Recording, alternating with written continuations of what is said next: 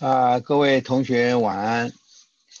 那么今天要跟大家介绍的是一个比较特殊的一个人物。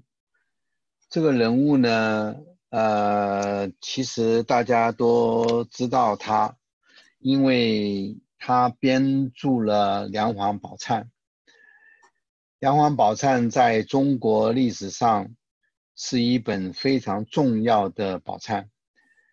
是我们汉传佛教里面最大部头的忏悔法门的东西。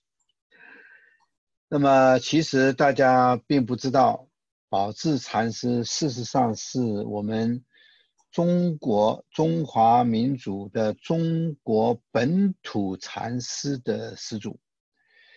那么，许多的学者，尤其是日本的学者，对他非常的推崇。那么。当然，这现在还是一个公案，因为现在还没有还没有一个正确的公认的一个一个一个证据。那么，所以呢，我们就是在本土的禅师里面，那么以他为祖师，那么。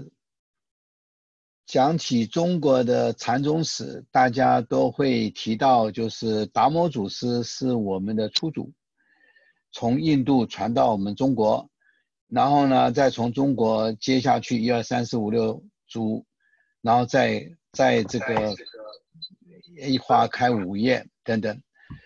那么这个传承呢，过去我们都认为这是我们。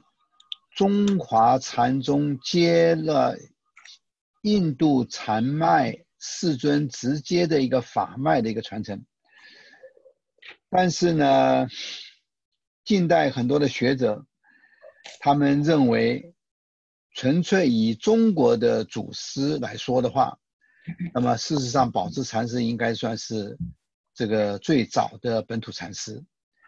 那么我们大概四百。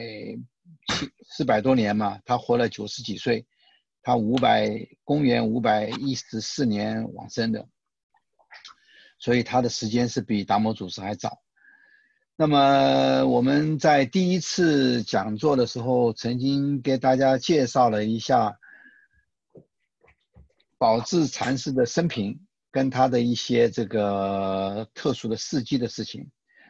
那么我们今天就直接从他的法要来讲，宝智的禅法基本上分成三个重要的文件。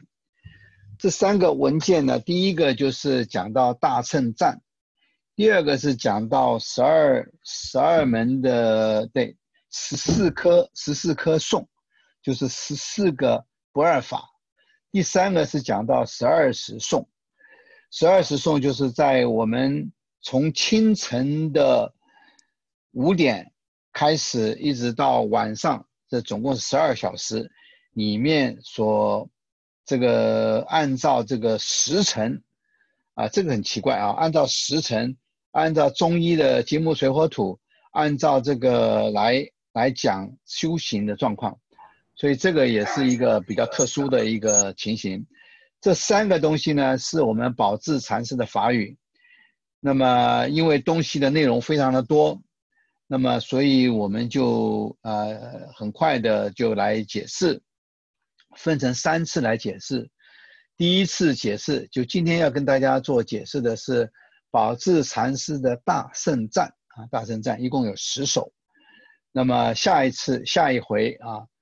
那么轮到我的时候，再讲十四个不二法，然后再下一次就讲十二时颂，那就是我们把中华中国的祖师禅的本土禅师的出祖，然后来做了一个法要的交代。那么现在我们请各位开始看到我们大圣赞的第一首啊，第一首可以放稍微大一点字啊。那么大圣善里面的第一首呢，他这个讲的是，哎，对，大一点哈。他这个是有点有点点深度啊，这个初学的人可能听起来会比较，那比较有一点这个摸不着边。那么基本上来说，参过禅的人啊，尤其呃很多同学都破过参，那么也多深入经藏过。那么对于这个这个大圣善，你读起来就会觉得非常非常的非常非常的这个切题。那么，首先我们现在开始讲第一段，第一个大圣善的第一首哈，第一首大道常在目前，虽在目前难关。他的意思是说，这个大道，那么当然这个我们要讲这个大道，是讲这里要讲半天了，对不对哈？那么所谓佛法的大道，也就是你要成佛了，对不对？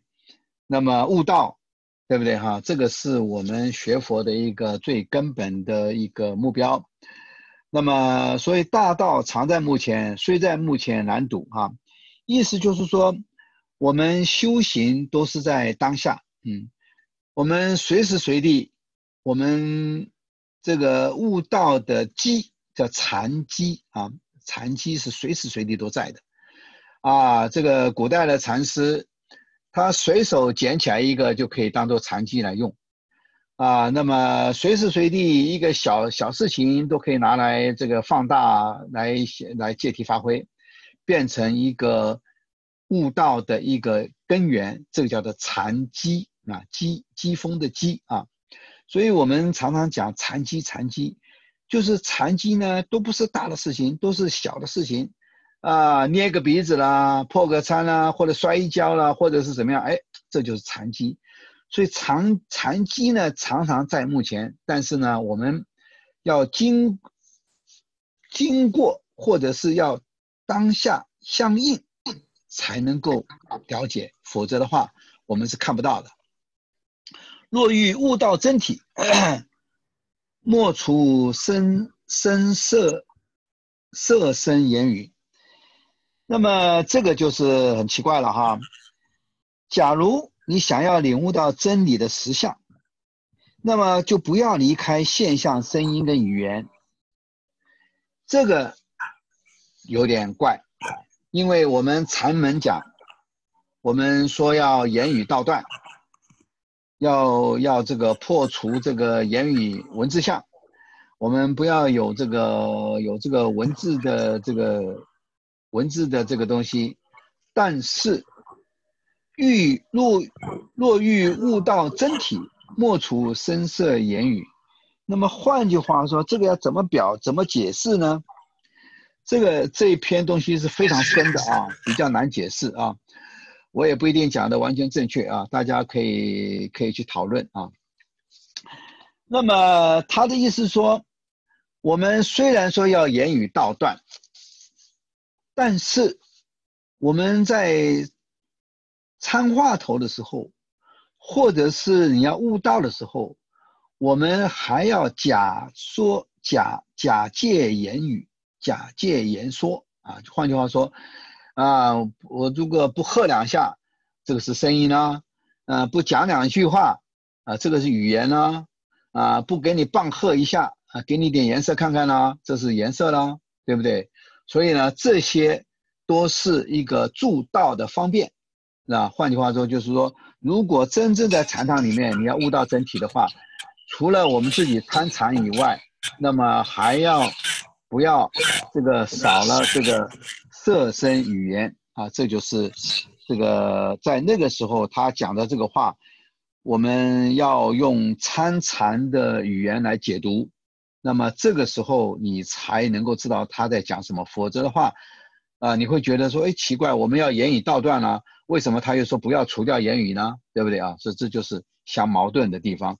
那么，但参禅的时候呢，他常常是颠倒，所以我们参过禅的人就会知道，我们在接引众生的时候，常常是要用很多的方便，这些方便是随手捡来就是，啊，看到。看到一个小小，看到一点小毛病，哎，抓起来就是一个话头，啊，所以呢，这个就是说，不要去这个去分别它，言语即是大道，不假断除烦恼。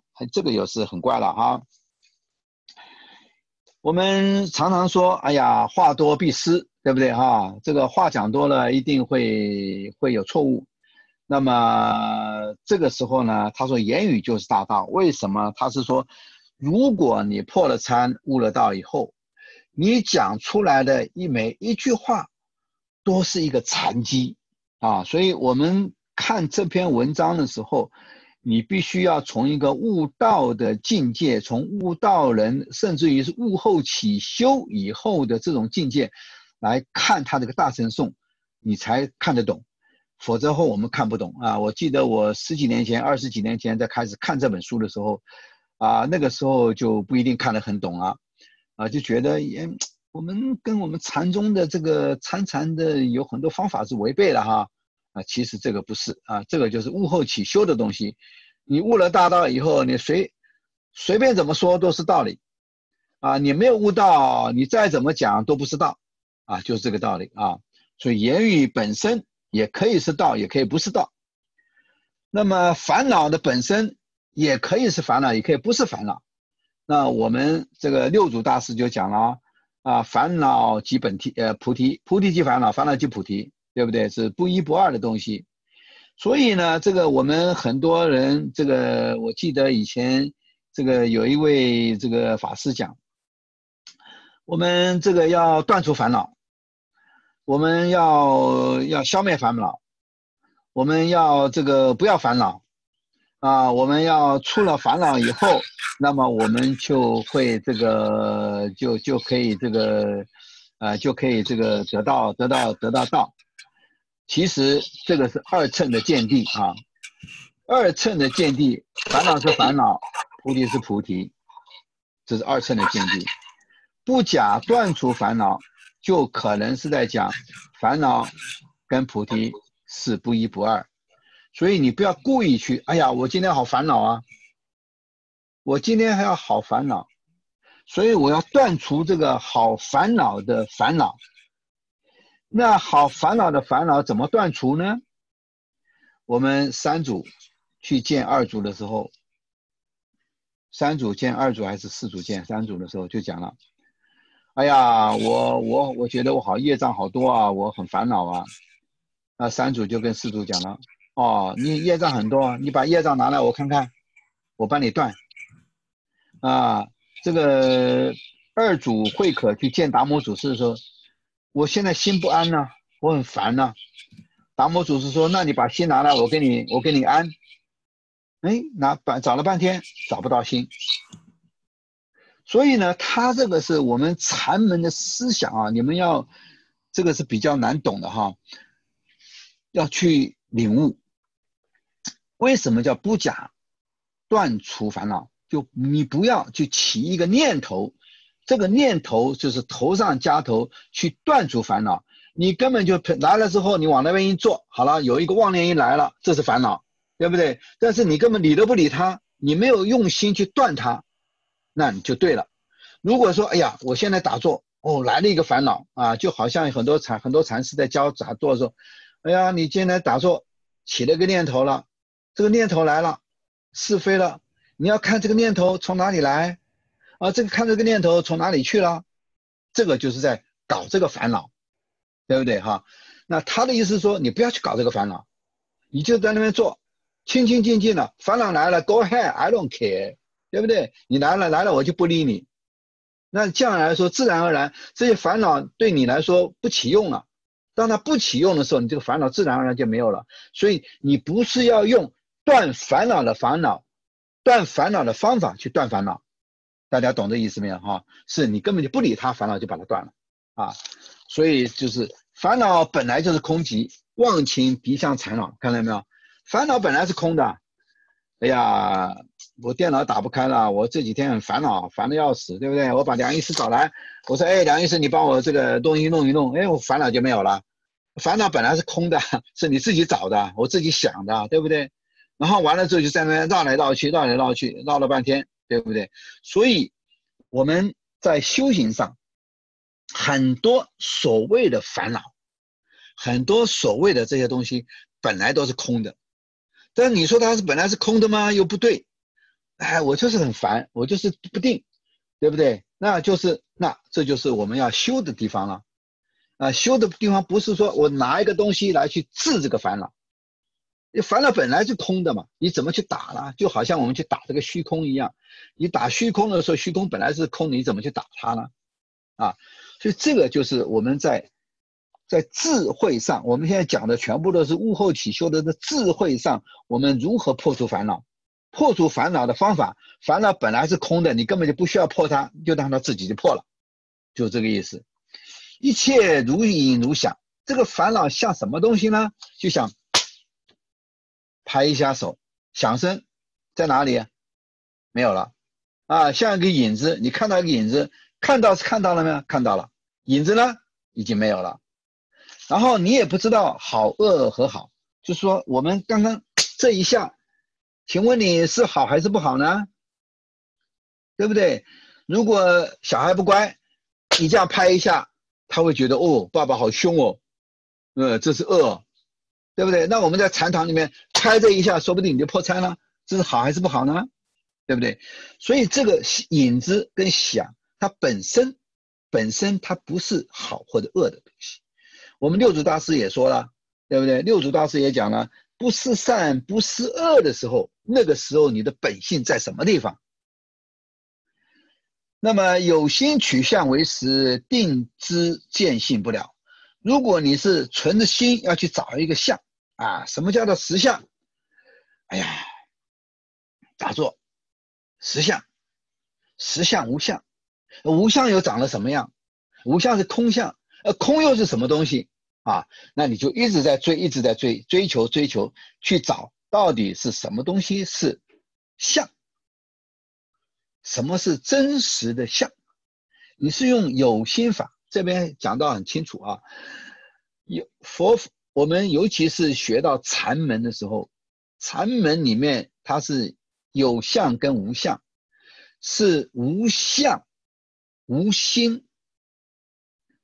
但是呢，有时候要假借有相这个假象，来作为一个参悟的一个工具，所以有心取相为实。假如你说好了，我们既然我们这个因无所住而生其心，好，那你说我这个心，心是啥东西呢？那你去追这个心，追得到吗？追不到。所以你如果这样子一直搞，一直搞，哎呀。你就是一定见性不了，你一定见不到自己的本性啊！自己的本性不是这样去见的，自己的本性不是这样去追的，自己的本性不是靠理论去理解的啊！就是这个意思。若欲作业求佛，业是生死大造啊！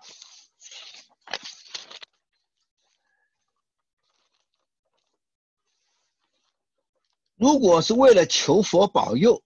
而造作各种方法的事情，那么业是生死，这种造作出来的事情，却成为将来生死时的决定因素啊，这个就很麻烦了。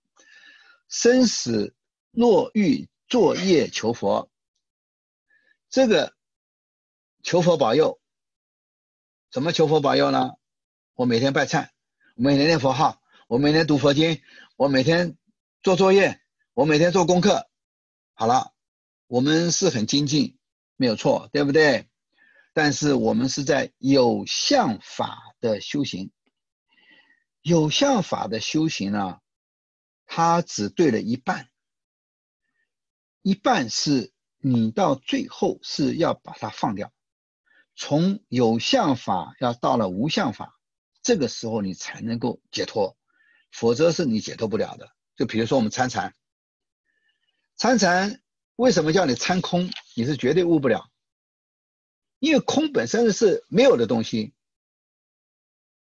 你去参个空，空本身就是没有东西，那你去想什么东西呢？是不可能。所以我们一定要从有相下手，参一个话头，找一个话头，然后就想这个话头，话头是怎么样折腾来折腾去，折腾来折腾去，折腾来折腾去，折腾来折腾去，好了。然后起起伏伏，然后产生情绪，产生这个，产生那个，然后你把它一关一关克服，一关一关克服，到最后你破参，啪那一下，你的所有你的有相法全部在一棒子之下就打破了。那个时候了你的生死大事。如果你没有破产，那你还是在那边参话头。参话头本身是有相法，他这个意思就是落欲作业求佛，就是你想要成佛，你是要用有相法的方法来成佛，你是成不了的啊，就是讲这个意思。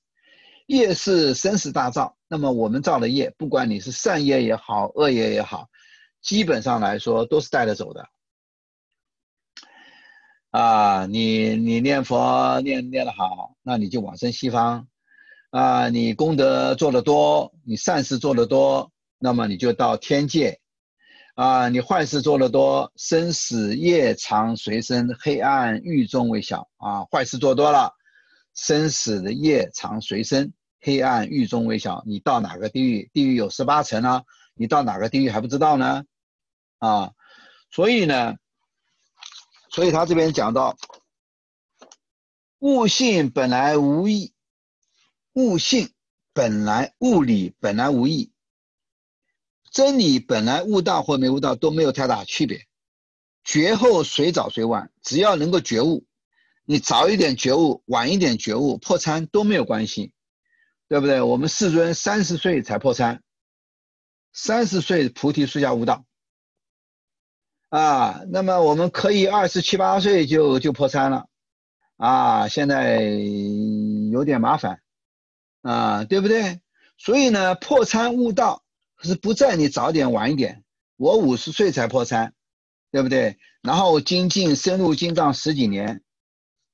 所以呢，不在乎什么时候这个悟道，只要你走在菩提的路上，那么你早悟道、晚悟道都没有关系，但是不能不悟，不悟就很非常麻烦了。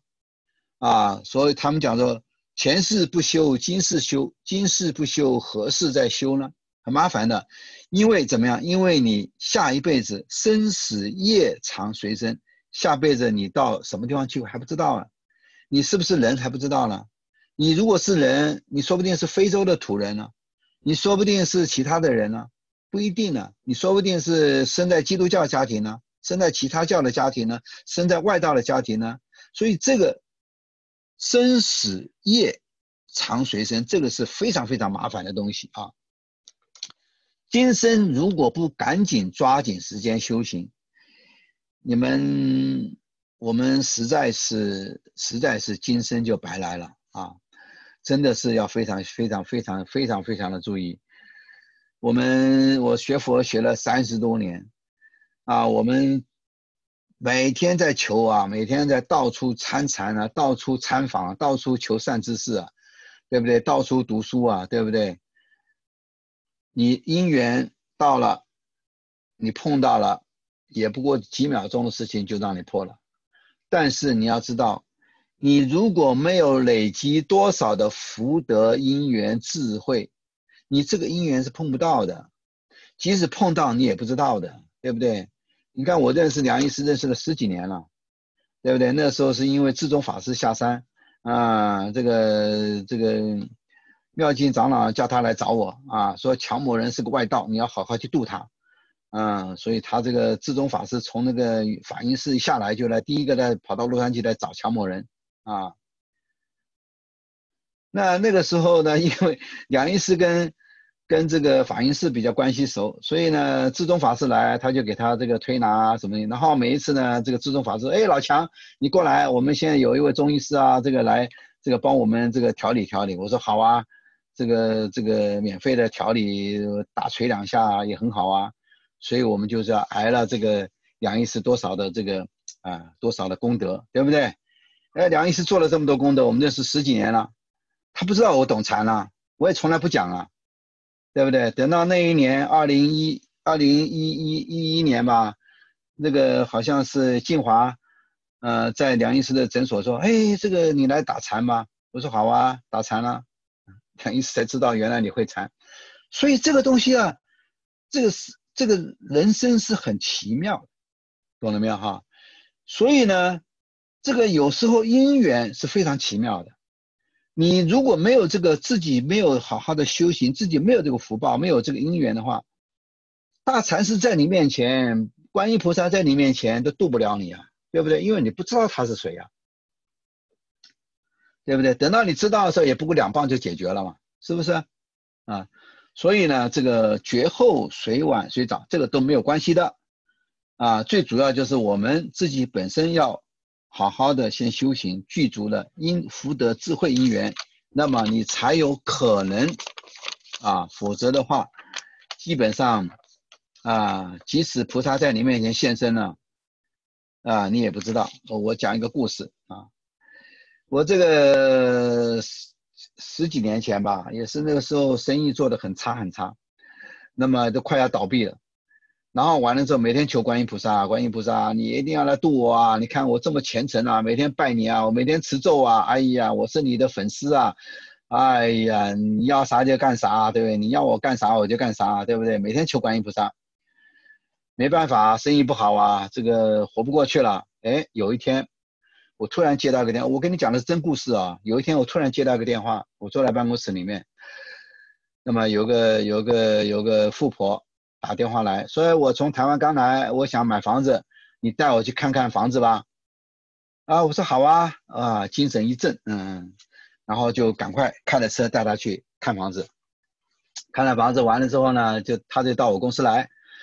到我公司来坐下来聊天，然后他一看我这个桌子啊，这个放的都是观音菩萨，哦，他说你信观音菩萨，我说是，哎呀，这个观音菩萨很灵哦，我给你讲个故事，哎，他观音菩萨讲一个观音菩萨的故事，他说啊，我们在这个在这个我以前住在阳明山上，那么阳明山上呢，我也是做很大企业，事业快倒闭了。然后每天求观音菩萨，观音菩萨赶快帮忙啊！就有一天呢，突然看到观音菩萨从那个从那个阳明山那个那个烟雾渺渺中间出现，然后呢就对着他的窗户像飞进来了。他看了之后，他吓坏了啊！观音菩萨来了。结果他看到观音菩萨，他全身不能动。那观音菩萨跟他说：“好孩子啊！”啊，你每一声求我，我都听到了，啊，千处祈求千处应呐，对不对？啊，所以呢，你们造的，你们所求的东西啊，我都听到了。但是你有没有想过啊？嗯，你是不是有造过业啊？如果业没有消除的话，你怎么可能改善你的命运呢？对不对呀？哎，对对对，他说观音菩萨说好。所以你现在开始好好修行啊，修行时间到了，你就这个，你就那个。至于工厂嘛，啊，这个是因缘法，你欠钱还钱，欠债还债，欠命还命，啊，欠情还情，这个是因缘法，你是不能改的，对不对？但是你要不昧因果，因果来的时候你要承担。该杀头就杀头，就跟那个安世高一样。安世高他这个到了中国，他欠了两条命，啊，所以他经过的城门的时候打死了一个人，被抓去判死刑一次，然后又发又来一次。他在中国还了两条命以后，他才中国开始传法。安世高是把禅法传到中国的第一人，他到中国要来传法之前，他都要先还两条命。才能够到中国来禅法，所以呢，观音菩萨告诉他以后，他说你啊，该破产的时候就破产，不要担心啊，这个该还的业就要还，所以他就很安心的，他就不会这个这个这个这个上上下下的呃患得患失的，观音菩萨就噗就飘走了，啊，他就跟我讲的故事，啊，我说我听懂了，啊。这个自己生意不好，肯定是造了不少业，啊，该受罪就受罪，该挨骂就挨骂，啊，该打屁股就打屁股，啊，该破产就破产，该赔钱就赔钱，该怎么地就怎么地，该你赚，该你发财的时候也会发财，不该你发财的时候你就别别在那边乱梦想。哎，走了，我送他回旅馆，他跟我说早上九点钟要再看房子，好了，我就第二天早上我就到那个旅馆去接他。接他的时候呢，那个旅馆里面没有人，然后我就问那个旅馆的前面人，我说昨天这边有台湾来的一个老太婆，有一个富婆啊，住在这个房间里面，她这个她到她是不是已经切告了还是什么样？那个管理那个旅馆的管理员说，没有啊，这个房间昨天没有人住啊。哎呀，当场，哎呀，我这眼泪直流啊！我说观音菩萨，你真是太慈悲了，对不对？像我这种像我这种这个刚强倔强众生啊，你都亲自化身来度我啊！所以呢，这个从那以后，这个生意好就好，生意不好不好就拉倒啊！该赔钱就赔钱。所以我破完产以后我就破产，心安理得的破产啊！我也不去，我也不去这个什么这个去去在那边纠结了，对不对？然后从头来过。啊，过去过去就当做过去死，然后现在重新来过。那么我们只有在这样子，才能够增长。我们这一生受了多少的折磨考验，这个就是修行啊。所以呢，他讲到物理本来无益。哎呀，你说我怎么学佛？我参禅。哎，怎么搞的？我还这么倒霉啊！我还这么衰啊！我也不发财。你要弄清楚，这就是修行。修行就是你该还的还，该得的得，该走的走。你做一个清算，做一个清算。清算完了之后，好，你姻缘到了，自然而然，你的善知识来了。善知识说不定是你家的小朋友啊，啊，给妈妈顶嘴，顶两句，你突然就大悟了。哎，小菩萨是你的，是你的菩萨，你可别乱骂，对不对？啊，哎，你的亲戚朋友说不定每一个人都可能是你的菩萨。啊你前面阿高阿阿猫阿狗说不定都是你的菩萨。啊我有一个朋友，哎呀，他这个每天懒懒得不想读经，啊，他家养了一只狗，每天时间一到就咬着他不放。那就把他拉到佛台前面，叫他跪在那边去读《地藏经》。你看，这个狗是他的善知识啊，啊，对不对？所以这个世界，世界非常的奇妙，这个世界非常非常的奇妙啊。所以呢，我们这个一定要有这个，要有这个心，一定要有这个毅力，一定要有这个觉悟。就是说我不管怎么样，我都一定要在菩提路上，一定要。参禅悟道，然后一定要觉悟。我今生不觉悟的话，来生做什么不知道，那是很惨的，啊。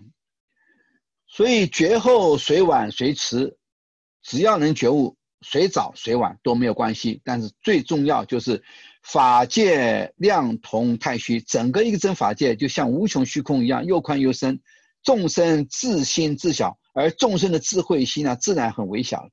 但人不起无我，平时只要能够不升起自私自利、我为中心，涅槃法是常保，那常常是我们极乐涅槃的质量就够了。看到没有？我我是什么？我就是啊，我们梁医师也讲了很多遍，就是七世，七世是我执，这个是最最最最最麻烦的东西。多生的重尽千百劫所造业不亡，就是这个东西。这个东西非常麻烦的。啊，如果我们能够参禅悟道，啊，能够破参，能够悟道，那么我们得到了法识。法识就是我们叫法喜充满啊。你每次听佛经的时候，就非常的法喜充满。每次要讲课了，哎呀，你这个很迫不及待的想来听课，啊，总想说，哎，得到一点点。哎，强老师平常喜欢骂人啦。啊，有时候呢，他也慈悲笑笑啊，对不对？啊，说不定呢，笑里藏刀也不一定啦，对不对？哎，你在这个喜怒笑骂中间，说不定哎，你得到了一点消息，悟到一点小小小的东西，这个就是法师藏宝。我们常常要去看有善知识讲法的时候，或者有什么东西，我们常常要去，要去这个呃，要去这个，要去这个亲近，去听。那这样才能够让我们把我们的我执常常能够让它不起，要压五执那是不是很容易的事情了？非常难的哈。那么悟后起修也还是在压我执啊，叫我私啊，我们叫的一个叫见货，一个私货。私货是非常难断的啊，非常非常难断的东西啊。所以我执啊，这个东西大家这个平常没有修行的人，没有破过参的人，那那个我执更是啊，更是面子大的很呐啊，对不对啊？所以呢，这个我们要要去掉啊。好，我们现在再这样讲讲第二段。第二段妄生宁静造影，隐于妄生不殊啊。但欲去隐留生，不知生本同虚。望生宁静造隐，就我们我们早上起来照了镜子，啊，每个人都照镜子，你都不知道照照镜子是照妖镜啊，对不对啊？这个世尊有一次讲一个故事，说有一个人呢很执着。嗯，每天早上起来就打扮啊，梳头啊，弄得漂漂亮亮打扮。结果有一天呢，大概睡得不是很好，结果睡得呼噜呼嘘嘘晃呃，睡得有点点这个晃里晃去的。结果呢，这一早上起来镜子上一照，突然一看，眼睛一花，哎呀，我的头怎么不见了？脑袋不见了，哎呀，当场就吓坏了，照了镜子就对着镜子就吓坏了，就疯掉了。哎呀，我头不见，我头不见，我头不见了，到处叫头不见了。结果呢，他跑到跑到那个跑到他那个宿舍，其他朋友说：“哎，你叫什么？”啊：“我头不见了，不得了，不得了，头不见了。”哎，你头不是在你头上吗？哎，我怎么照镜子头不见了？谁？这就世尊讲的故事哦，啊，不是我们随便乱编的哦。妄生宁静照影啊，我们每天在看我们的色身，哎呀，长得多么美丽啊，我们就照照镜子啊，照影。隐喻旺生不输，我们镜镜子里面的影子跟我们这个身一样，但是呢，你可不可以说，哎，不要影子，不要现前了，我只要留个身，留不起呢？不知身本同虚，啊，如果想要去掉镜中的身影，而只留的身体本身。那么不知道实体的身体跟镜中的身影其实是相同的。注意听啊，身体你一碰是实体的啊，镜子里面是虚的，其实你都不知道，两个都是虚的，两个都是幻的。身本与影不异，不得一有一无。若欲存一舍一，求与真理相熟，看到没有？这个就是开示我们了。你对着镜子去照镜子，你说镜子你可不可以不要？我只要我的身，不行啊！镜子跟我是同一个啊，啊，所以身体与身影其实是没有分别的，无法。不得有一有无，无法只要有身体而没有身影的，你不可能啊！我只要有身体，不要有影子；我只要有影子，不要有身体，可不可以呢？好像可以啊。这个以前我们龙树菩萨在修这个修隐身术啊，他这个龙树大菩萨在悟在修道以前，他是修隐身术，所以他跟几个这个外道修成了这个隐身术。隐身术以后，他就跑到了这个宫殿里面去呢，去这个呃，去跟这个宫女乱搞，就很多宫女就怀孕了。哎，这个国王就奇怪了，说奇怪了，这个宫女怎么就突然怀孕了？啊，原来一定是有外道，因为印度当年很多外道，九十六种外道还是九十八种外道，那很多功夫很高的，还可以隐身的。好了，这个这个世尊呢，就在宫殿把它封起来，然后就拿了刀手，就对着空中一排一排一排杀，一排一排杀，一排一排杀，结果杀死了三个，这个一杀死就现形了。本来你是看不到他了，但是一杀死就现形了。那么这个龙树菩萨呢，就躲到了这个国王的椅子的底下，全身发抖，发誓。哎呀，我只要能够逃过这一劫，我决定要改邪归正，我一定要做一个弘法的人。好了，结果他这个杀死了三个人呢。国王说好，那就这样子吧。这个以为就只有三个人嘛，对不对？结果这个就放过了龙树大菩萨。龙树大菩萨逃出了王宫以后，那就变成了我们的大祖师，啊，所以呢，哈哈，这个，所以这个更呃求与真理相殊啊，这个希求自己跟真理相应。如果你自己本身想要去掉一个，我们讲的一个叫虚，一个叫实，所以叫不一不二。对不对？我们在大般若经里面也讲到，大般若经尤其讲到都是假象假名，啊，人前经也讲到这个也无涅盘佛，也无佛涅盘。哟，我们学佛学半天，我们要学佛啊，有个佛可以成呢，对不对？我们要成佛，对不对？结果人前经就讲说，也无涅盘佛，也无佛涅盘。我们大我们大般若经讲，连佛的名相都是假的，佛根本就没有。哎呦，这一搞，那我们在学啥？那我们不是跟外道一样吗？对不对？学了个半天，结果没有佛，我们还学佛，是不是？所以这个禅宗跟我们这个智慧。他的一个觉，那个觉者，觉者就是觉悟的人，他看世间就跟我们世尊讲的，一切金刚经讲的，凡所有相皆是虚妄。那你佛像是不是虚妄呢？菩萨像是不是虚妄呢？众生相是不是虚妄呢？那地狱畜生相是不是虚妄呢？如果你从这个角度去看，凡所有相。皆是虚妄。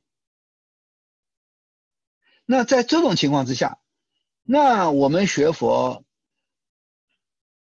如果你不能够跳出佛，啊，这个我们禅宗有个故事，说这个说有一个人啊，学佛学得很虔诚啊，悟道了，悟完道以后呢，那个人就考他，考他是怎么考他呢？他到那边去之后，他就在那个椅子上呢。写了一个佛字，好，这个他一到了之后呢，要请他喝茶，他一个结果他一看，哎，椅子上写了个佛字，他就不敢往上坐，啊，那个主持就笑他，哎呦，你这个还有这个在呀，哎，表示说你连佛的这个形、佛的名号你还没有抛掉，就换句话说，你还没有达到绝对真空的境界。你还没有达到长极光净土的境界，你还没有达到一切一切都无的境界。好了，这是我们禅宗的话啊。结果呢，很多人结果被人家，我听人家讲了，被人家这个拿去这个拿去这个羞辱了。哈，我就不信，我就往上一坐，啊，结果屁股烂了。所以，所以很多事情啊。天下事情啊，各种各式怪事儿都有啊。我们学学的是禅法，我们现在讲的是这个宝智禅师的大圣禅，这个是非常非常深的、非常深的教理。那这个是你们这个要悟过道的人、破过参的人，你大概可以听得懂。从这里里面你去体会，你可以让你的境界能够更高一层。悟后起修，修什么东西呢？就是在修这些东西啊，修你的知见呢。如果你破了参，悟了道了，你还在那边抓抓抓抓，那你跟没破参有什么区别呢？知见没有变嘛？你知见不变的话，那你就颠倒二见不输啊。那你跟颠倒不颠倒不是一样了吗？那你是？你能够这个，你让你在这个来生的时候，你还能够还能够了生死吗？那你还不是照样再来了？无名还是照样现前呢？对不对啊？所以，若欲存一舍一，如果凡事心中总想保留这个笑，放弃那个，哎呀，这个好啊，我保留这个吧。哎呀，那个不好，我放弃那个了。好了，这就是你没有做到平等性质，你还是在做分别了。当你在做分别的时候，我有问题的哈。在你没有破三悟道修行之前，你是可以分别，你可以挑话头，你可以选话头，你可以选你的法门。你爱修净土修净土，你爱修禅宗修禅宗，你爱修密宗修密宗，你爱修啥修啥，没人管你。你爱去死你就去死，也没人管你，对不对？但是如果你真要开始修行了，或者你真是悟道了，那对不起，那你就得要把这个这些这个我见这些东西都要慢慢的抛弃，求与真理相属。如果你自己还这个不肯放弃，那个不放弃，你就想要跟真理得到了真理要去相应，那门都没有啊。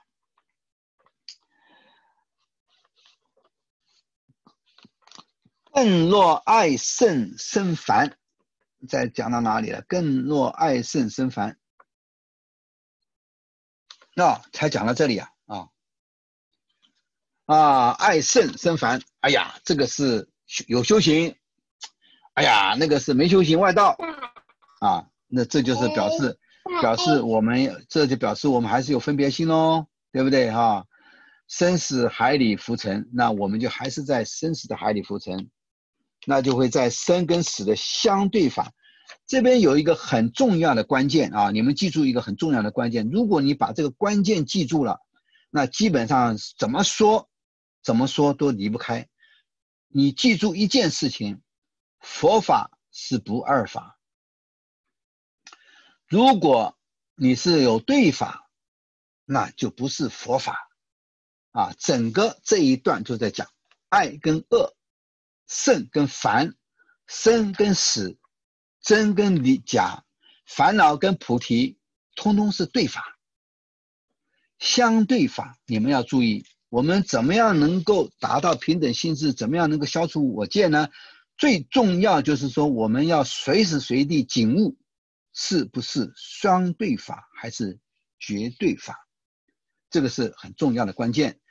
这个我跟宝林讲了，在《六祖坛经》里面，我叫他去好好的去读《六祖坛经》，里面有讲到附属品啊，我相信你们都看过《六祖坛经》。《六祖坛经》里附属品，我们六祖大师教他的弟子教什么东西呢？你们好好注意看了，这篇东西你们一定要讲。六祖大师就是告诉有他的弟子有三十六对法。什么叫做三十六对法？对法就是相对法，啊，六祖大师讲的啊，今天如果有人来问你什么是无啊，你就告诉他有；什么是有啊，你就告诉他无；你什么是问东呢，你就告诉他西；什么是南呢，你就告诉他北。咦，我们六祖大师居然教他的弟子们说谎。啊，不对吧？你们要懂他是什么意思呢？他的意思就是要凡是任何东西一定要想办法要离开二法，一定要统一辩证，不一不二，中道实相，这个是最根本的一个东西。所以，当你产生了对方，哎，这个人对，那个人错，那本身就已经错了。所以有个祖师说，这个有个有第一个弟子跑来说，哎，老师，刚刚他说了怎么样讲？你说我对不对？那个祖师说，嗯，对你对，甲对。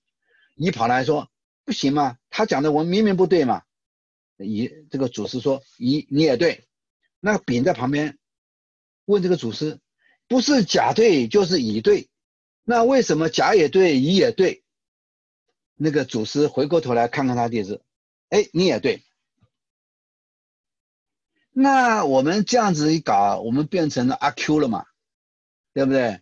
我们没有是非了嘛，我们也没有这个，也没有，也没有这个，也没有这个，也没有这个公理了嘛，对不对？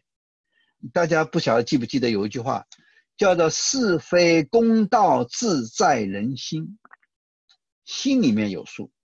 但是你不一定要去执着它，懂了、知道、明白就好了，不执着，该怎么做怎么做，对不对？该杀就杀，该骂就骂，骂的本身不是善，不是恶，它是一个法。所以像这种情况之下，你就没有分别心了，你就不叫骂，就不叫喜怒笑骂了，啊，你就把它名相给去掉了。所以这个就是叫不劳分别取向，绝对不可以看到一个东西就给它贴个标签。啊，当你看到一个东西给它贴个标签，你就是在分别在取向。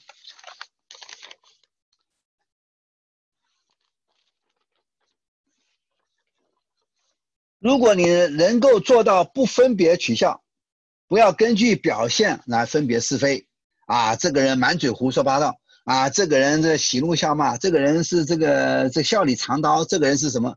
心里知道就好了，你有一个分别就可以了。知道你是明白人，但是你不要去搅到是非里面去，所以叫做不劳分别取向。但是不是阿 Q 啊？你是要明明白白的啊，你不能是糊里糊涂的哈。如果你能做到这一点，那自然在自然得到须臾。那么你在短时间内就可以证到清净的无为道理。下面一段就是梦中梦时梦中造作，梦时梦中造作，觉时觉境多无，翻思觉死于梦，颠倒二见不殊啊！我们常常不是讲吗？这个做梦梦里明明有大千。醒来空空无一物，这是我们常常讲的话，对不对？要修这个梦中禅啊。这个有位祖师，好像是这个是哪位祖师啊？就告诉他说：“你做不做得了主？”嗯，他说：“我做得了主。”那你做梦的时候做不做得了主？我做梦的时候，嗯，不知道。那你做梦的时候，主人公在哪里？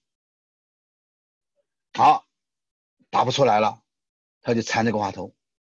哎，奇怪，我做梦的时候，为什么不按照我的意志去做梦呢？一下是一下是乱七八糟的梦，啊，梦时梦中造作，你在梦里面啊会飞，啊会会跑会弹，各式各样的境界都来了，啊，然后这些东西也不知道干什么的。有的是独影镜，有的现象镜。其实梦是很复杂的东西，不是仅仅是独影镜而已啊。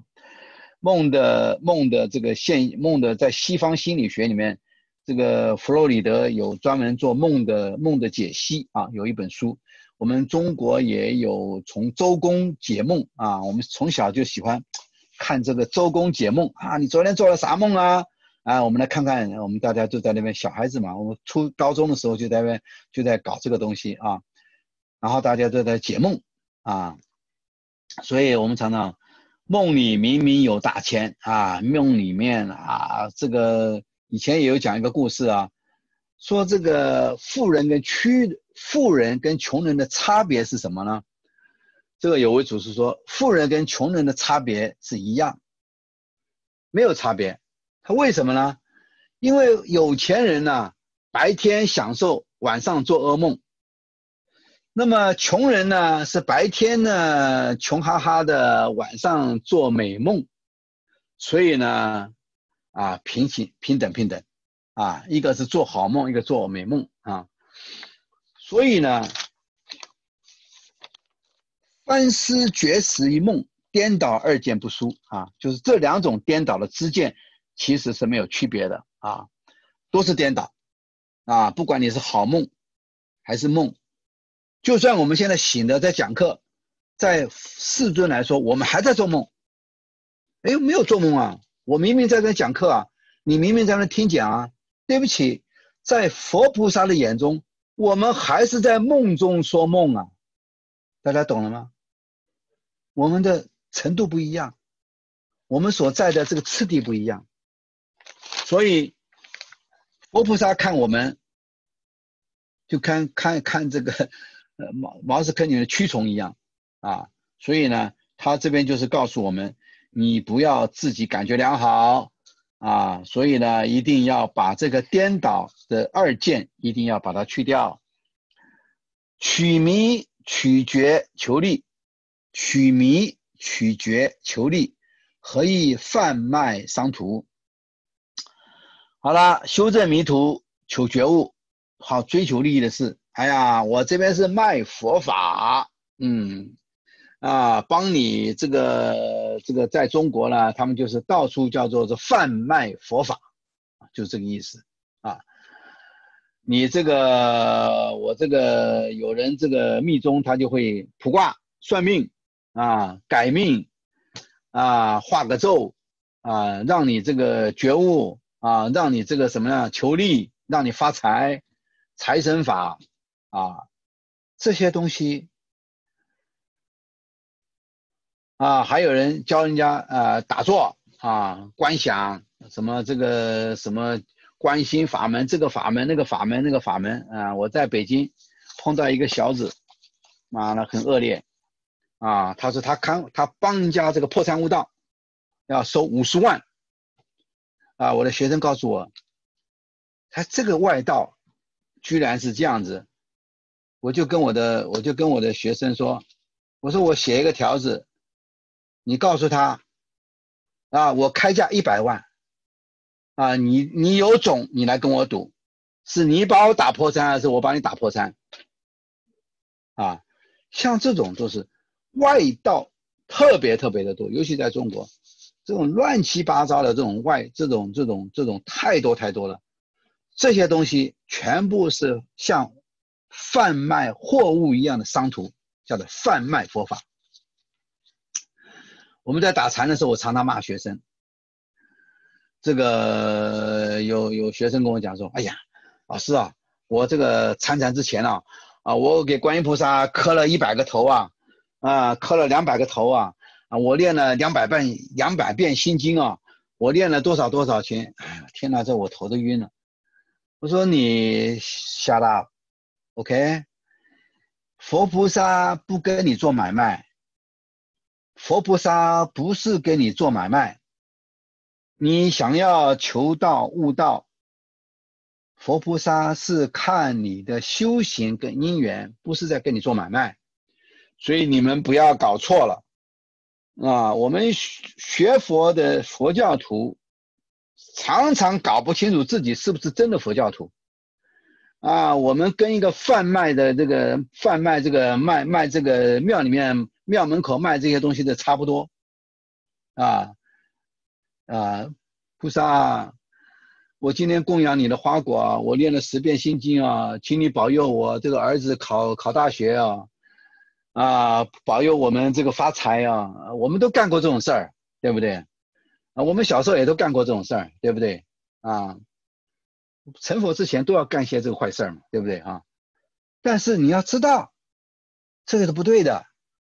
我们这是在贩卖佛法，佛法哪敢贩卖？开玩笑，你简直是不要命了，对不对？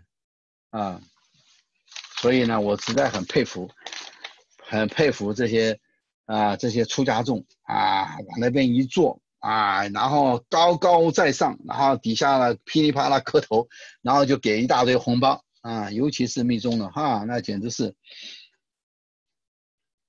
哎，不谈了，对不对？这边就告诉你，不要贩卖佛法，重要哈。下面就是动静两王长期，其实动态静态两种对立心态也是不存在的，自然契合真如。大家记不记得我们观音菩萨的？耳根圆通法门，动静二相了然不生。那么在《楞严经》里面讲到，动结、静结，还有一个就是冻结、根结、根结、冻结、进结啊。开始是修是三个结始啊，先修这个根结，就根就是你这根所产生的这种八处，你要去克服它，叫根结。就你打坐的时候。根会产生各种的触觉，然后你要把它克服掉，所以这是第一个你要克服的，叫做根结。第二个要克服的是冻结，冻结就是说你这，当你在打坐的时候，或者是你这个基本上来说，就是一般打坐的时候，那么它就会产生，因为什么？因为我们身体里面血液是在循环的，当你血液是一种动态的时候，你的生理的机能自然就是在动态。当你生理的机能是动态，血的流动是动态的时候，这个时候你的情绪也是动态。所以这个时候你也必须要克服。你不能说啊，我呼吸也不要了，我血也停下来了，那不是这样搞法了，对不对？那动向，这叫动向，然后你要破除，破除完之后你才能静向，好了，你总算安定下来了，啊，右庙门属水子，观环境啊，到清安了，好静哦，好静哦，啊，做的很好啊，对不对？这叫静向，动静二相了然不生，都没有了，动也不动了，静也不静了。通通都不生了，你在干嘛？入流往所，入到哪里去了？很多人讲不清楚了，入到真如去了，入到八识去了，入到什么什么地方去了？没有几个人讲得清楚。观音菩萨耳根圆通法门，所以这边讲了。动静二相了然不生的时候，你就自然契合了真如。若言众生与佛，渺渺于佛常数。如果说众生跟佛菩萨有所不同的话，那么你就是与佛有遥远的差距，不相应了。啊，我们不是讲十法界嘛？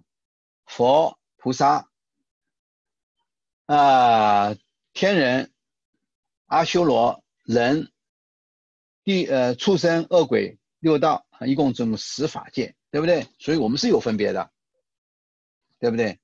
我们在在这个在这个十法界里面，我们是有分别分别的。但是佛说，佛众生不一不二，佛与众生不一不二。师尊讲的，什么东西不一不二？我们的佛性不一不二，他长的是佛，我们长的是这个这个这个这个这个色身，两个是有差异的，但是众生跟佛唯一不差异的是什么？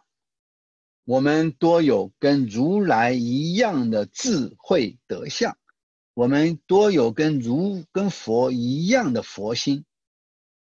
如果我们认为你佛是佛，我是我，狗是狗，猫是猫，那你分别的这么清楚的话，那对不起，你就跟佛遥遥相位，因为佛与众生是不一不二，自然究竟无余，自然就是你达到了根本究竟到无余涅盘的时候，就是众与佛众生，佛菩萨众生不一不二。注意啊！那是在心性上的不一不二，所以我们要修《华严经》讲的这个“若人欲了之，三世一切佛，因观法界性，一切为心造。”他说：“你想要知道佛跟我们众生差别在哪里吗？因观法界性。”一切唯心造。什么叫唯心造？我们都有一个佛的心，我们都有一个佛的性。这个由这个佛心跟佛性来关照，来产生的知见。佛、菩萨、众生，区别是什么东西呢？区别的是知见。不是佛性。如果你能够了解到这一点，而能够做到这一点，那么我们自然就可以达到了就近的无余涅槃。好，我们下一段，第三段，法性本来常寂，荡漾无有边边判，安心取舍之间。被他二境回转，念容入定坐禅，色境安心觉观，机关木人修道，何时得达彼岸？诸法本空无着，尽是浮云会散。夫物本性圆空，恰似热病得汗。无智人前莫说，打你色身心善。好了，我这边有。有这个白话的翻译啊。如果你们有需要白话的翻译本的话，请跟这个燕军，燕军把那个把那个文字档发给你们啊。这一段是讲什么呢？真如的法性本来是在极尽，《法华经》讲的，诸法从本来常自极灭相，诸法，包括一切的诸法，从本来从最开始最开始最开始。常自即灭相，这是《法华经》里面讲的哦。为什么会产生呢？气世间为什么产生司法界？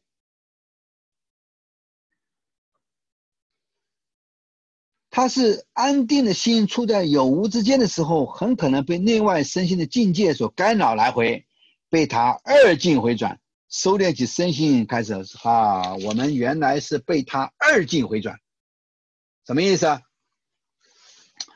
在《瑜伽师地论》里面讲，这个我们的这个世间的这个形成，叫异地里面就讲，世间怎么形成的呢？所有的人都在四禅天里面，所有的众生在成住坏空的时候，所有的众生在空劫住劫的时候，空劫坏劫都在四禅天里面。整个地狱空的，整个整个世间全部是空的，气世间全部是空的，在空成住坏空。那这个坏跟空的是这两个的时候呢，是整个是东都没有。所有的这些人，不管你有有罪没罪，有业无业，通通在四禅天。每一个结束很长的四大。四个节，每一个大节有二十个中节，二十个中有有四个中节，四个中节，每一个呃，一个一个一个心数节，比如说一个大节，它有四个中节，四个中节，每一个中节每二十个小节，啊，每一个小节是多少多少万年，总共它的整个的宇宙的一个宇宙的算法是这样算的。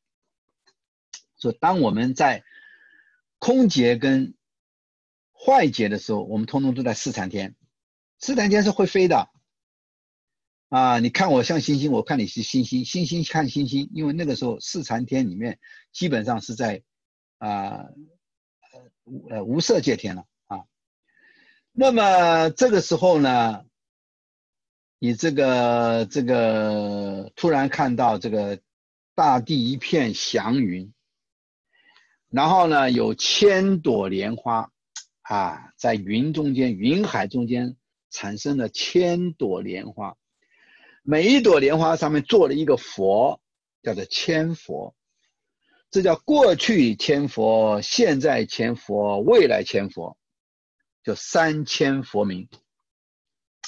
然后你一看到千佛，哎呀，在菩，在这个每一个人都坐在那个莲花上。太欢喜了，一高兴了，哎呀，你也想下去玩一玩。好了，你从四禅天就到了三禅天，三禅天到二禅天，二禅天到了初禅天。这个时候你还是会飞的，啊，还是会飞的。到了地居天以后，你才不会飞了，啊，到玩的太太累了，也不用吃东西嘛，对不对？所以呢，在地上，这个时候就产生了大须弥山。须弥山产生以后，就这些人就在这个须弥山旁边做休息，那叫地居天了，是有有有土地了。好了，这个有土地呢，就在这个地上玩了。本来都是在空中飞的，就在地上玩，玩玩玩，后来哎，不晓得怎么搞，怎么回事呢？这个在地上玩久了以后呢，就嗯不飞不起来了，飞不起来了，没办法就回不去了。回不去了，没办法，肚子饿了，肚子饿了就天上就丢这个丢这个谷下来，丢了谷下来之后，他就要吃。以前我们天人是没有五脏内腑的，啊，我们没有什么金木水火土的，对不对？这个不在三界外，不在五行中，看到没有？那个天人是不在五行中了，没有五行的，啊，那在这种情况之下，他吃在地居天。他吃东西了，一吃了东西要消化，要有营养，所以就产生了我们的五脏六腑。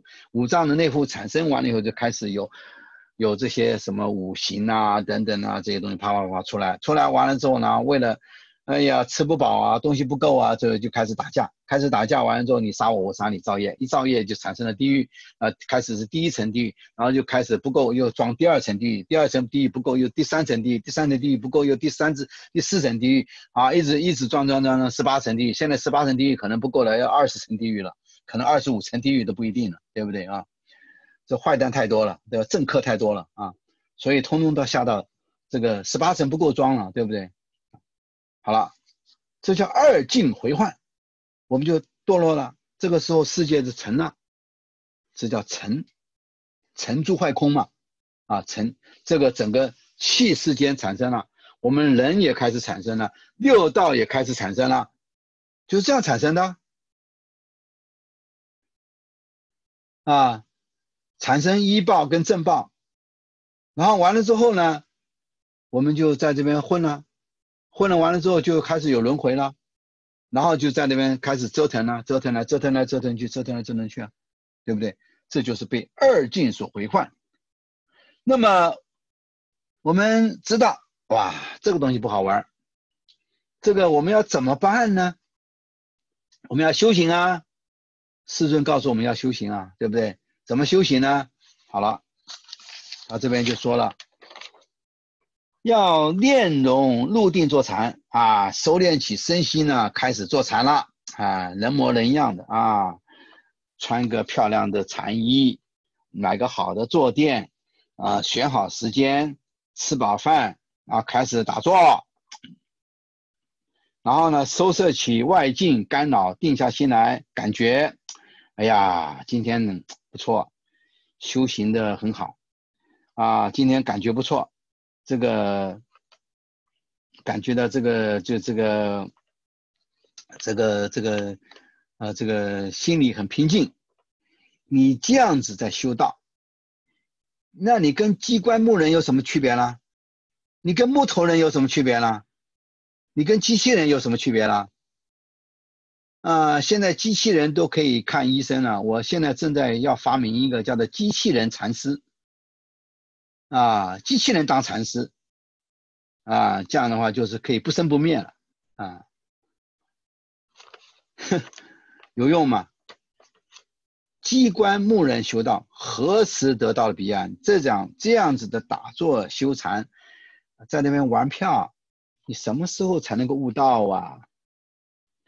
诸法本空无着，所有的法性本来都是空而不执着的，尽是浮云会散。境界就像天上的浮云一般，会聚会散。夫物本性圆空，哎呀，突然一下子，两棒子下去，突然悟到空了，自信都是空了。哎呀，就是你悟到空的那一刹那，你破参的那一刹那，每一个人都是吓得全身大汗呐，屁股尿流啊，对不对？跑到观音木茶菩萨面前，那简直痛哭流涕啊！无知人前莫说啊，悟道的人在凡人面前不要乱说啊！啊，你悟到了，你就讲你的悟道的经验。这些没有悟道的人，他是说：“哎呀，你是不是在那边胡说八道啊？啊，你们是不是哎外道啊？对不对？”所以我在中国的时候，我讲。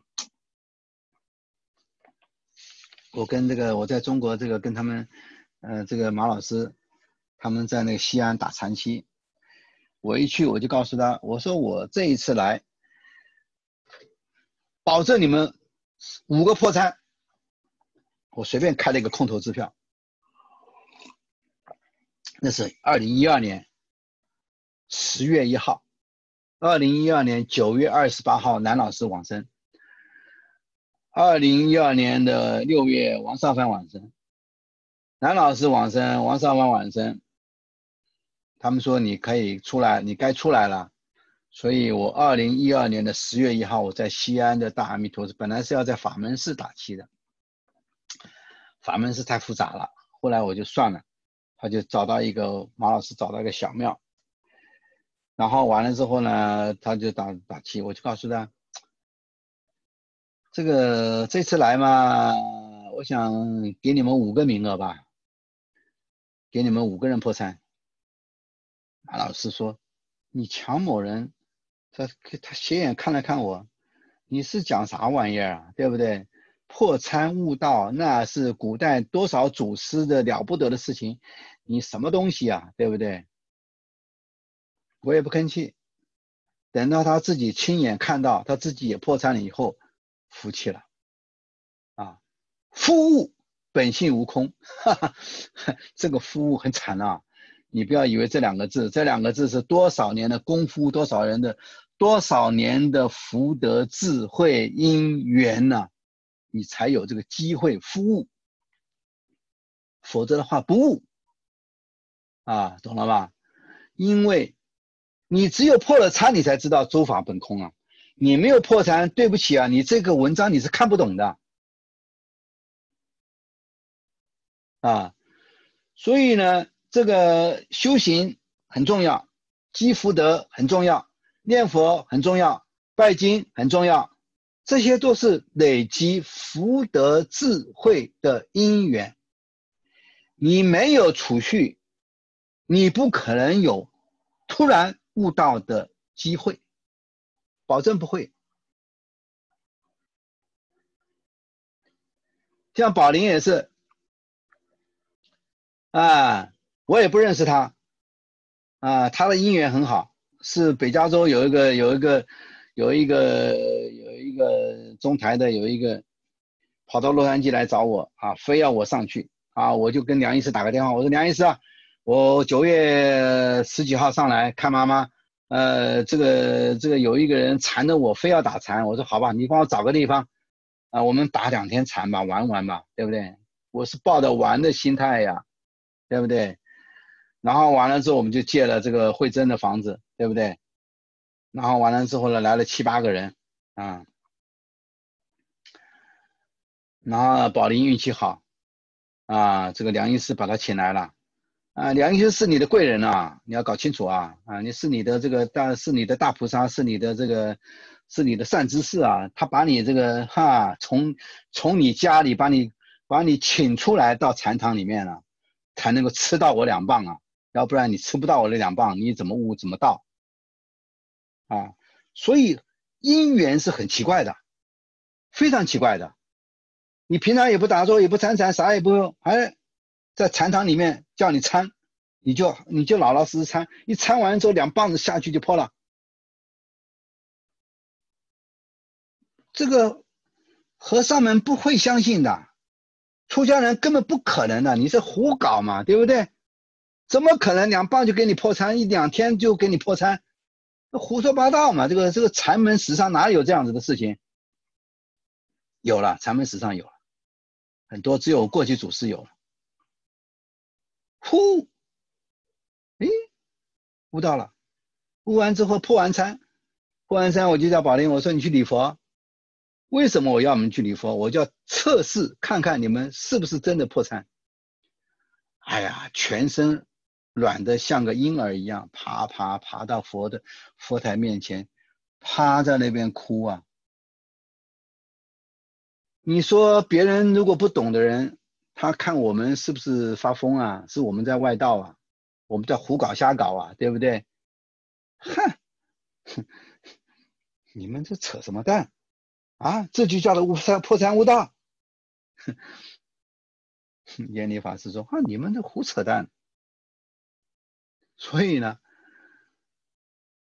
无智人且莫说，你不要跟这些人去讲，你跟这些人讲，他也听不懂，他听懂了，他也不会相信。所以只有打破色身的执着才行啊，对不对？所以我们就随缘啦，接引众生是随缘的事啊，有缘我们就碰，没有缘你就嘻嘻哈哈、喜怒笑骂就算了。对不对？别扯淡了，对不对？啊，这个否则的话，这个这个让人家升起了谤法的心也是有罪的，对不对？好，我们再翻去下一个，第四，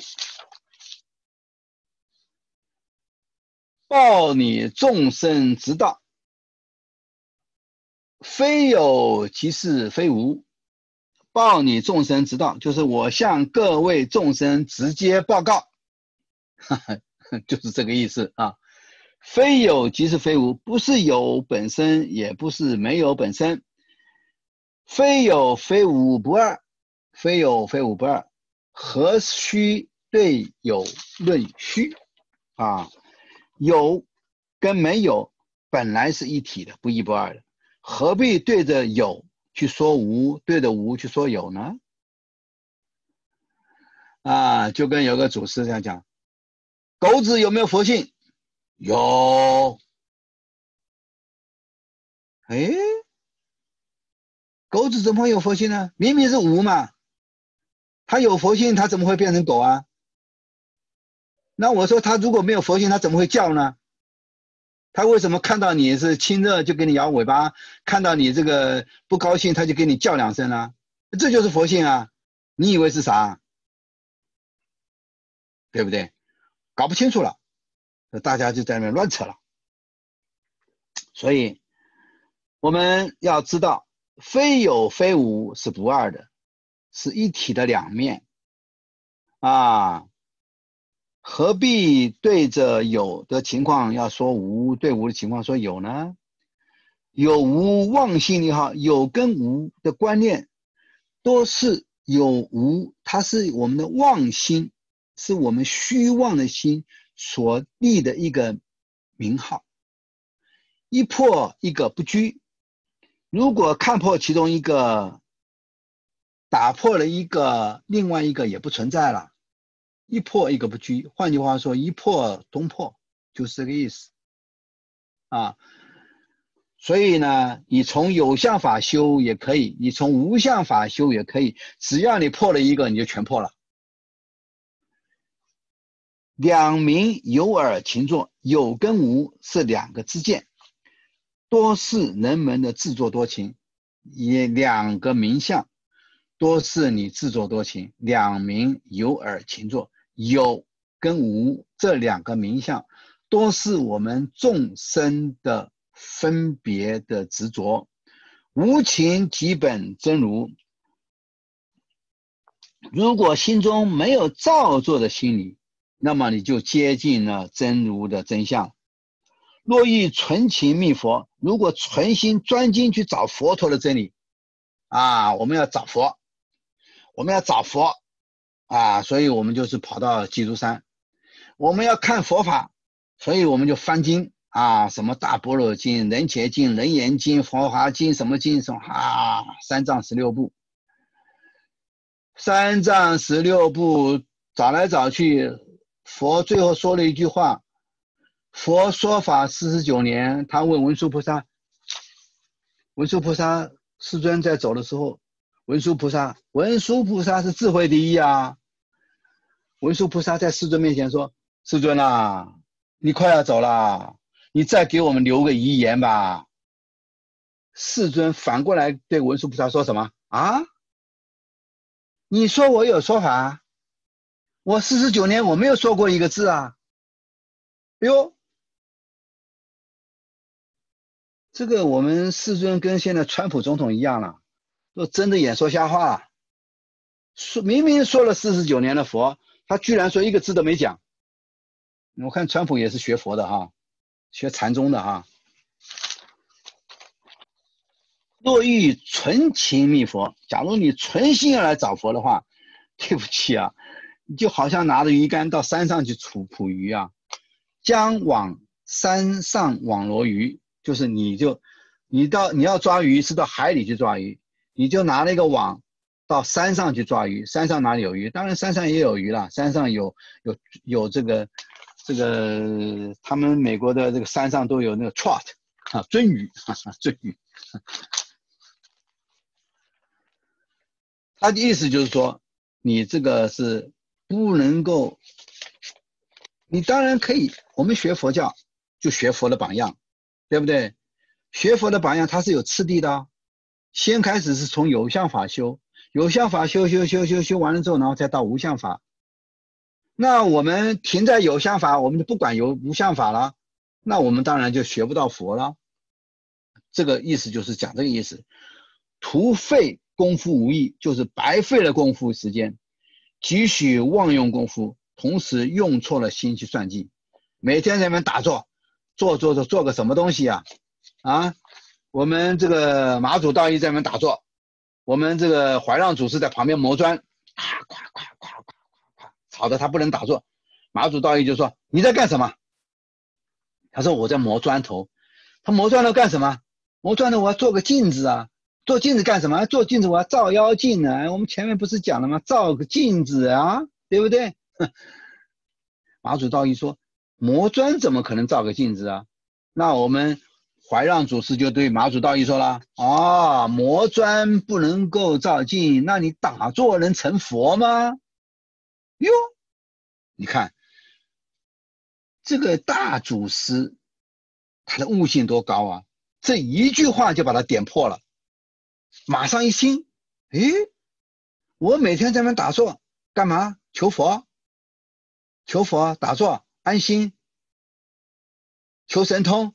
干这干那，搞了个半天是妄用功夫，白用的功夫，这个跟学佛无异，跟学佛无关，练练身体而已，成不了佛的，所以叫做妄用功夫。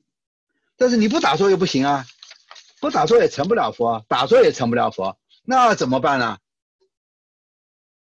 那这个是我们禅宗就值钱了啊，告诉你打坐不能成佛。不打坐也不能成佛，撑，那就是真功夫了，那不是妄用功夫了哈。不解即心即佛，根本就不了解众生的心跟菩萨的心本来是相同的，就不解即心即佛。啊，若人一了之，三世一切佛，应观法界性。一切为心造，你发的是佛心，你就是佛的心，跟佛同等的心；你发的是畜生的心，你就是嗔恨心，你就是跟畜生一样的心，你就变成，你虽然还是个人呢，但是你品性像个畜生，就好像骑驴啊，觅驴啊，你骑在驴，骑在驴的马上，骑在那个。骑在那个骡子的身上在找骡啊，就跟我们刚刚讲的师尊讲的故事一样。师尊说有一个人早上一起来啊，在那边搔首弄姿照镜子，突然发现哎，怎么头不见了？哎呀，马上就发疯了，到处去找头啊，头啊头啊头在哪里啊？啊，跟我们这个跟这个我们的这个啊这位这个铁蓝菩萨关公一样，关公被杀了以后头砍掉了。砍掉以后到处找头，啊，然后到处兴风作浪，刮了很大的台风，然后呢就是还我头来，在空中就大叫，把头还给我，还我头来。这就是黄龙祖师，他那天啊就碰到了黄龙祖师，黄龙祖师在在这个底下在打坐，用手往天上一指，这个这个这个这个这个乾南菩萨就下来了。他说：“你叫什么？啊，我是这个什么什么这个什么这个这个过五关斩六将啊，这个关公关大人啊，我的头被斩了，所以我现在在找头。”黄龙祖师怎么讲的？黄龙祖师说：“啊，你呀，你找头，那你过五关斩六将的时候杀了多少人的头？这些人头到哪去了？”咦，关公一听，诶，有道理啊！他们都不找头，我找什么头啊？啊，你看，当下就悟到了。这一悟道，马上就拜，磕头给这个我们的这个这个黄龙祖师顶礼磕头。然后呢，他就问黄龙祖师说：“我从现在开始做护法，你有什么需要我帮忙的？”黄龙祖师说：“我现在需要盖一个庙，需要这个几百斤木头，需要几百斤砖头，需要几百斤什么什么。”那个我们乾南菩萨、关公说：“没问题，几天搞定，一天给你搞定。”哎呦，这有神通哦！好了，黄龙祖师也不吭气。结果第二天呢，当天晚上呢就狂风大作，哗啊哗哗，整个村中狂风大作。第二天早上一起来，哎，黄龙祖师的前面呢就摆了好多木头，摆了好多的东西。黄龙祖师就很奇怪，说：“你这些木头是哪里来的？”哎，你不知道啊？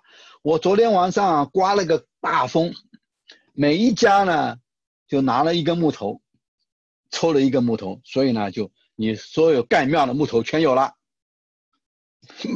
所以呢后来这个他这个伽他就是被封为伽蓝菩萨，啊，在庙门口专门护持佛法。即心即佛，啊，齐鲁长老，就这么一棒。我们禅宗渡人的时候，那都是在关键的时候，唰哒就给你两棒子，对不对？打死了活该，打不死就悟道。一切不正不爱，这个烦恼就必须就一一棒子就给你打掉。除之。则系除生，除生无佛无因，除生除掉身见之后，不做佛的圣解，也不做外道的因果解。无佛无因可得，不做圣解，不违背因果，一切无所得，自然没有法知和我知。好了，这很重要，很重要的。你看我们的祖师讲的话，每一句话如果拿来参话头，每一句话都是非常非常深的教理。这个就是叫做不做圣解，不违背因果，叫做不昧因果。我们这个百丈禅师有一天，这个这个在庙里面。有一个人问他：“法师，我请问你一个问题。”他什么问题？他出家人还落不落因果？就换句话说，你既然剃了头出了家，你还有没有因果？哎，现在很多出家人不怕因果啊，什么都敢乱来呀，对不对？那我们百丈禅师说，不昧因果，昧就是一个日，一个未，未来的未，不昧啊！这个老这个老这个老头马上给他磕头顶礼，他就跟那个他就跟这个百丈禅师说：“我希望你明天能够到后山有一个狐狸洞。”去为我做和尚的这个和尚的这个这个这个呃这个葬礼，为什么？因为我以前也是个大和尚。人家问我说出家人有没有因果，我当时就说出家人不落因果。换句话说，只要你出家，你什么因果都可以不管了。这叫不落因果。好了，我一字之差，我做了五百年的野狐狸。今天承你百丈禅师一字之差给我点拨，所以我终于悟到了，一字就悟到了，不昧因果，不昧因果，你造的业还是要造，还是要还是要废，还是要受的，不可以说没有因果的。佛教。不可能没有因果。你如果说没有因果，那你就是外道。所以呢，就变成了就叫不昧因果。不昧因果就是你在整个修行的过程中间，如果有碰到一些不顺的事情，那是因缘法。如果你碰到要更不好的事情，也是因缘法。碰到好的事情，也是因缘法，所以一切为心造。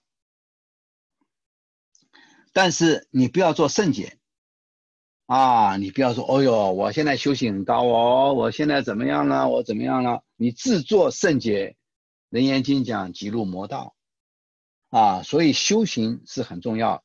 你自己悟道，你自己也要保守，也不要到处乱吹。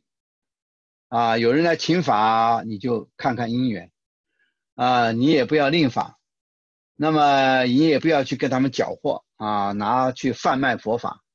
那这些东西都是都会有因果的，都会有报应的，所以这个是这一段讲的东西。大乘赞，换下一句，下一段，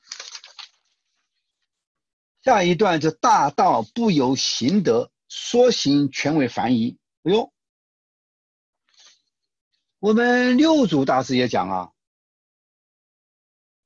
戒，戒是啥？定就是戒。有定就有见，他不是要故意去修的，所以大道不能够有盲修瞎练中得到，大道不由行得，说行全为凡疑。如果提出修行这个说法，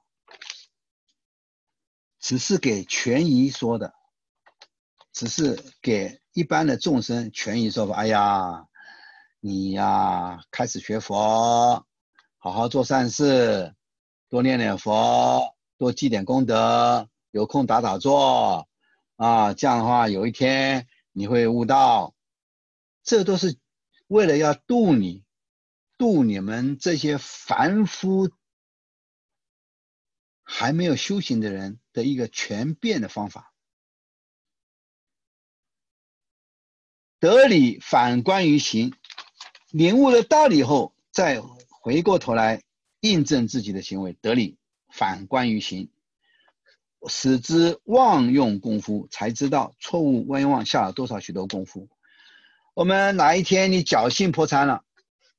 所谓侥幸破产，破产是要有因缘的。我跟你们讲的很清楚的哈，啊，那个不是求得来的哈。你如果没有福德因缘，智慧不够的话，你是破不了产的哈。所以有一天我们真的是如果破产了，悟到了。我们再反过来一看，哎呀，原来我们过去多做了很多白功夫啊，对不对？啊，我们每天打坐，每天在那打妄想，每天在那边搞了半天，这个跟我们的悟道都不搭嘎的。为悟圆通大理，要须言行相符。在没有悟到圆通的大道理之前，必须要言语跟修行相辅相成，报本参禅。啊，你还没有破参，你就要报本参禅，你的言跟行要相辅相成。啊，你这个打坐出现的状况，你要看看书上怎么讲的，问问这些懂的人啊是怎么回事，啊。言，所以叫理悟行悟，理路行路。这这个达摩祖师讲要理路要行路，就这个意思。我们禅我们禅宗也讲要通中通教，啊，不得执他之解，不要困执在别人的文字语言的肢解错误啊。我们常常喜欢看这个人破参，那个人破参啊，这个人讲法啊，那个人讲法啊，我们就看他啊讲的，尤其是什么什么。啊，某某人写的什么怎么，呃，什么什么悟道与这个什么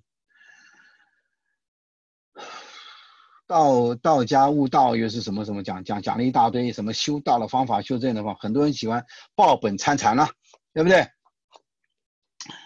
不得执他之解，回光返本全无，回光返照，彻见自性的空。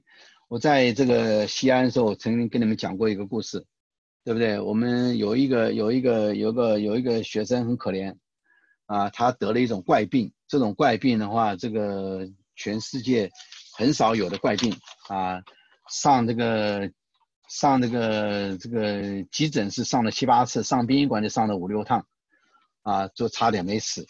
最后他的这个护士嫁给他当老婆，啊。在西安的时候，他运气好啊。他妈妈为了他这个儿宝贝儿子，哎呀，倾家荡产了，到处求法，啊，道家的、密家的，什么这个什么中医的什么的，反正该花的钱呢，怎么怎么花都要全部都花了，就一个宝贝儿子啊，对不对？说死都要把他命救回来了。救回来，我到了西安的时候，刚好他运运气好，碰到有一个人认识我，啊，跟他讲了。他就跑到办公室来啊，六十几岁一个老太婆，看着有时候蛮可怜的。他就跟我讲，他的儿子怎么样，怎么样，怎么样，怎么样。我本来不想管闲事，这个东西啊，就是很很麻烦。这个你名气一大，或者有人知道你多一点了，就就有人就有人找了，就就很多人很多人来找你找这个闲事儿。我不想管闲事儿，但没办法，太可怜了。嗯，讲的一把鼻涕一把眼泪，我说好吧好吧，我就到你家去看一看吧。跑到家一看，哎呦，这个个儿子很高啊，一八几，那个块头很大，还是个会计师。我就告诉他，我就问他，我说你平常是在干啥呢？他说我平常就抱着南老师的那一本的，怎么叫做什么？那那本书名我讲不起来了，那个叫什么？呃，修修。悟呃，那个道家的什么什么什么东西，讲他就讲那那本书里面有讲他怎么样打坐。我说南老师有没有在书里面跟你一步一步讲的很清楚啊？他说没有，他只讲个大要。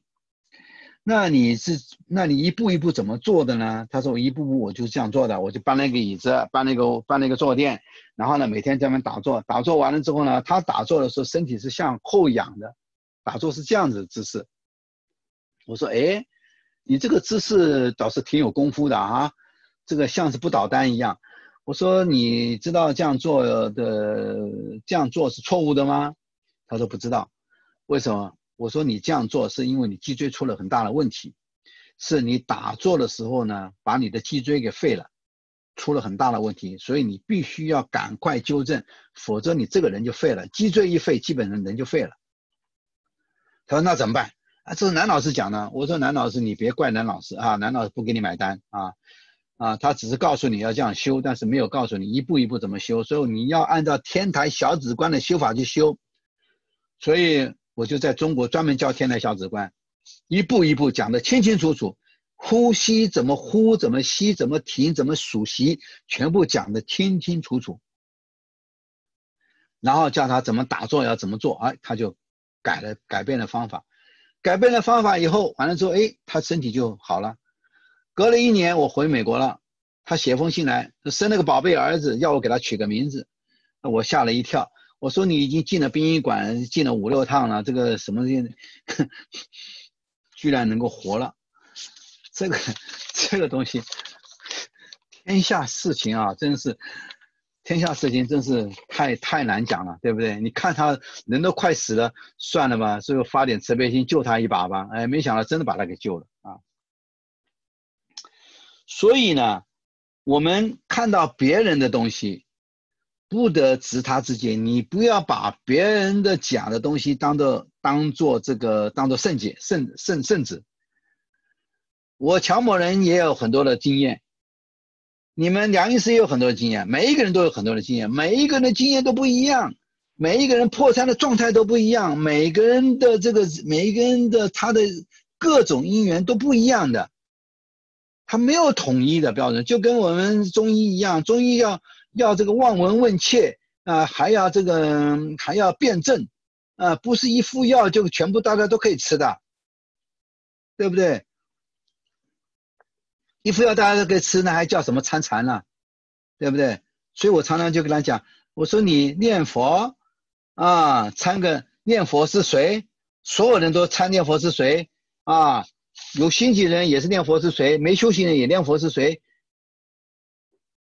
佛都烦死了，对不对？所以啊，我们要有。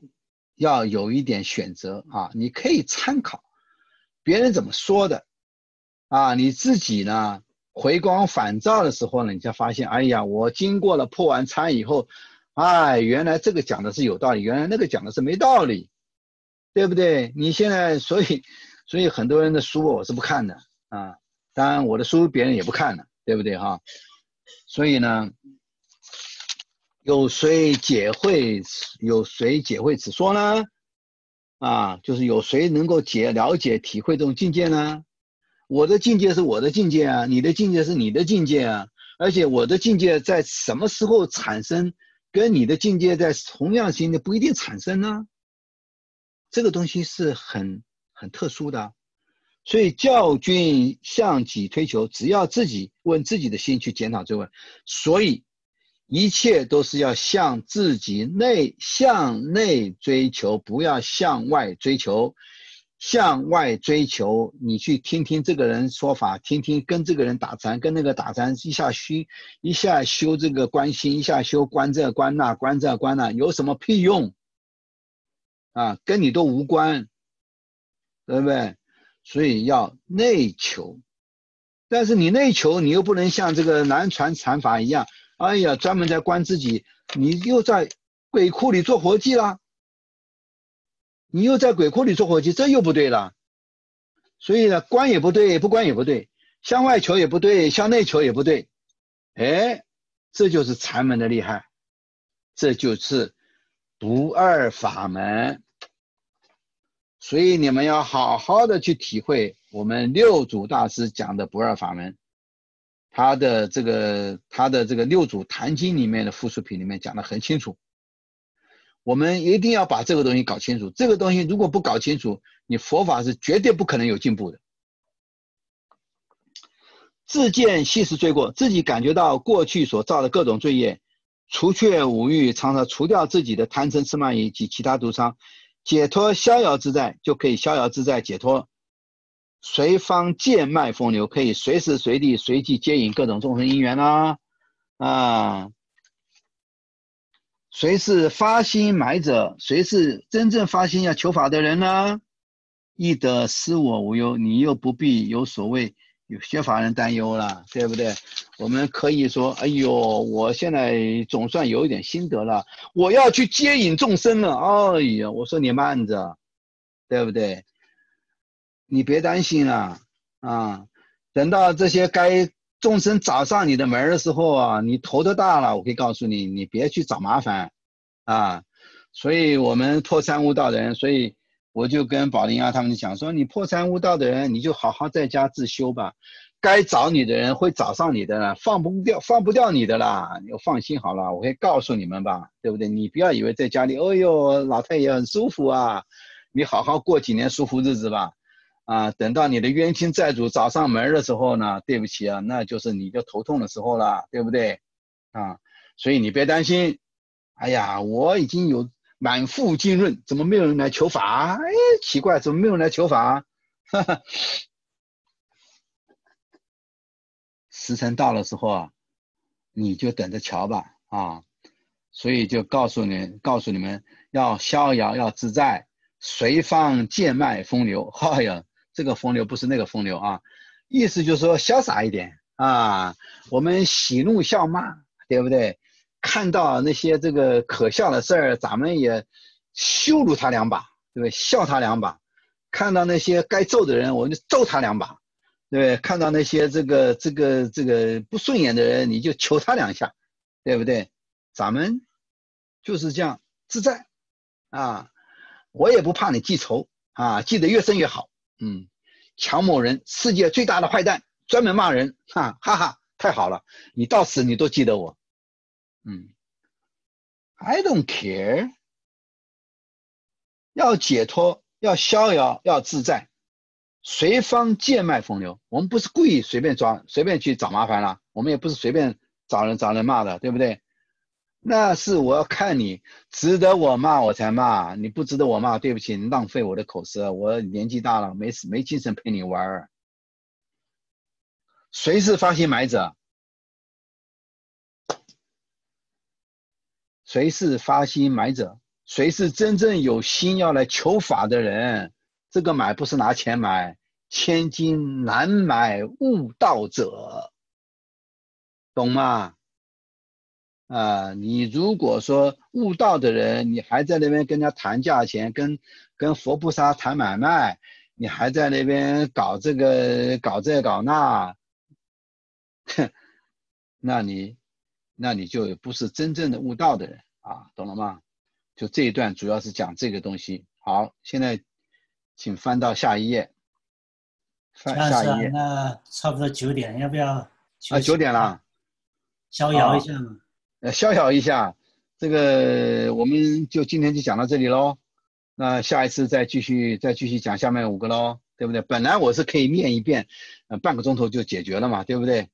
这个不过呢，这个大家都是有这么有因缘，你们都是发心的买者哦，乖乖，不管你有没有出什么价钱，都是发心求法的人呐，我也不能忽悠你们呐，对不对？所以啊，我就是要讲讲故事，跟你们扯扯淡，对不对哈？Anyway。所以呢，就讲的比较慢。我想这样的话，你们就比较会懂。这个文字的本身，它表达的是一个我们修法的一个境界。